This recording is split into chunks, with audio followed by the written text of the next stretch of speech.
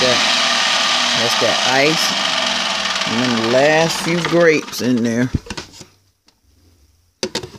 Yep still grinding. Let's go.